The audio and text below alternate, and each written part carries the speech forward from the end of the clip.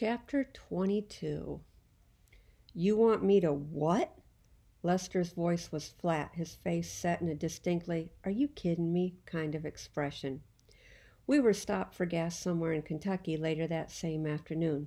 Rodeo had gone inside to use the bathroom and Lester was out pumping the fuel, and I knew it was my chance, so I took it. I want you to drive all night. Oh, and don't tell my dad that I asked you to. That's it.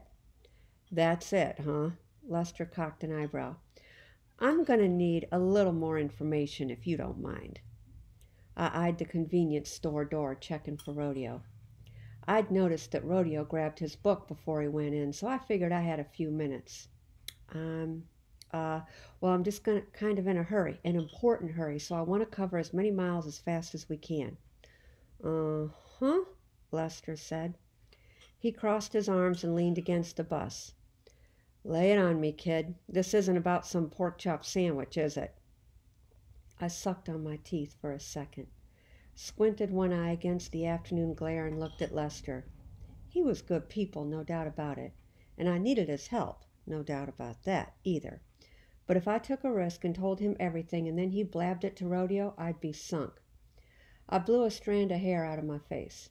You promise not to tell Rodeo? I asked and without a pause Lester shook his head and said, Nope. But when he saw my look of dismal betrayal, he lightened up a bit. Okay, okay, he said. Is whatever's going on illegal? No, sir. Is it dangerous? You going to get hurt? No, sir. It was Lester's turn to suck on his teeth. He considered me for a few seconds, an eyebrow arched.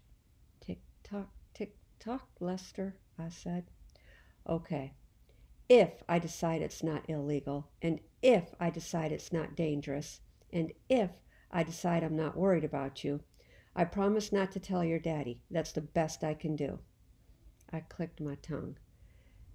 That was about three more ifs than I was comfortable with, but I didn't have a ton of options.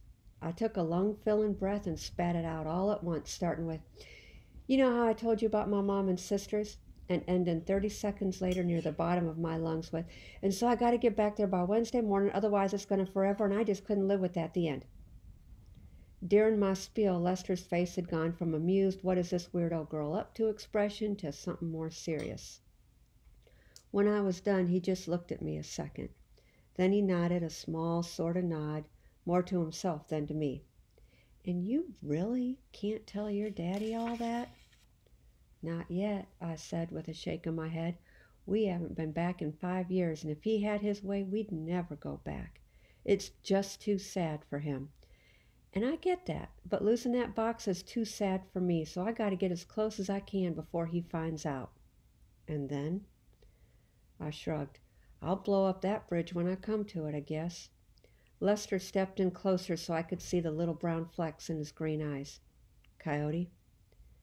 I will not lie to your daddy. If he asks me, I'm telling him the truth. I waited breathless for what he was going to say next. But other than that, I'll do everything I can to get you home in time. I couldn't help it. I threw my arms around old Lester in a big hug. Thank you, thank you, thank you, I said. And he kind of laughed and patted my back awkwardly and said, All right, all right. And then the gas pump clunked off and I let him go and he screwed the gas cap back on Yager. I better go take a nap, he said. I got a long night ahead of me. I grinned at him. Darn right you do. I felt a million pounds lighter. With Lester and Salvador helping me carry that secret around instead of having to do it all by myself. Sometimes trusting someone is about the scariest thing you can do, but you know what? It's a lot less scary than being all alone.